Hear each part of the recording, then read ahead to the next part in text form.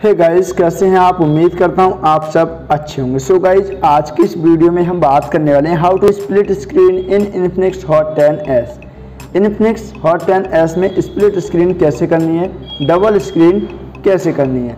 सो so guys अगर आप हमारे चैनल पर पहली बार आए तो प्लीज़ से चैनल को सब्सक्राइब करके बेल आइकन को प्रेस कर लेना, जिससे कि आपको हर आने वाली वीडियो की नोटिफिकेशन मिलती रहे, क्योंकि हम इस फ़ोन की और भी बहुत सारी वीडियोज़ लाने वाले हैं अपने इस चैनल पर। So guys without any best time let's to start video first of all आपको जाना है मोबाइल की सेटिंग में। सेटिंग में जाने के बाद थोड़ा सा नीचे जाना है। मैनेजमेंट पर। ऐप मैनेजमेंट पर जाना है। और ऐप मैनेजमेंट पर जाने के बाद नोटिफिकेशन सेंटर पर जाना है। नीचे जाना है।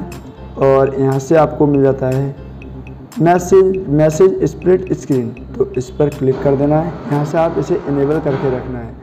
दोनों को इनेबल करके रखना, जिससे कि आपके फ़ोन में कोई व्हाट्सएप पर, कोई वगैरह व्हाट्सएप पर या मैसेज मैसेंजर पर किसी पर भी कोई मैसेज आता है तो आप इजीली इस तरीके से यहाँ पर उस मैसेज पर क्लिक करके यहाँ पर इजीली आप देख पाएँगे अपने फ़ोन में। तो इस तरीके से आप डबल स्क्रीन कर पाएँगे अपने इनफिनिक्स हॉट टेन एस में। सो गाइज़ आज के इस वीडियो में इतना ही है।